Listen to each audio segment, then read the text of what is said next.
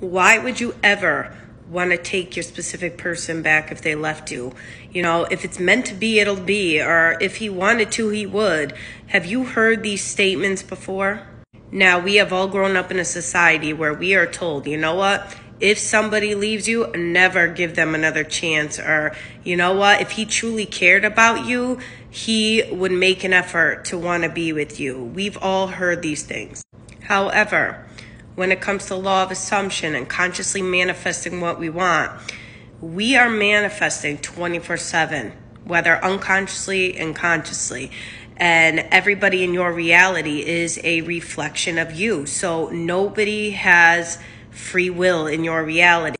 So if somebody left you, or they blocked you on everything, or they left you for somebody else, they were reflecting your beliefs that you have going on within yourself. So, did you have beliefs going on where you never feel chosen, you never feel worthy?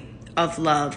You will never feel wanted. You have this belief that everybody always leaves you because when you were little, a parent left you. So you have this belief now that people that you get close to and love always leave. What are the beliefs that are dominant within your subconscious mind?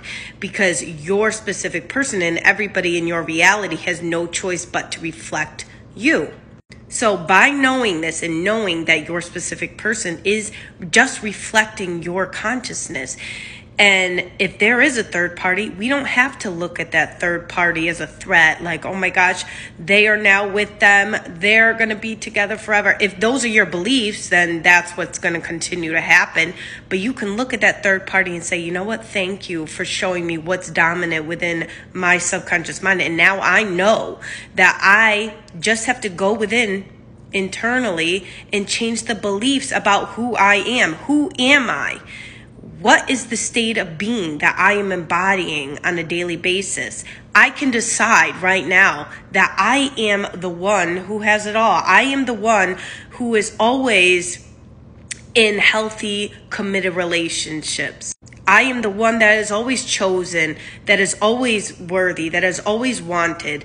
Everybody I'm with always stays with me because they see how amazing I am. That's who I am now. Once you make that decision on who you are, and you stick to that and you embody the state of consciousness every single day and you when you think about your specific person you are not focused on a third party you are focused on of course they're loving me they're choosing me they're wanting me we are together now then you will then manifest a completely different version reflected back to you by them follow me for more tips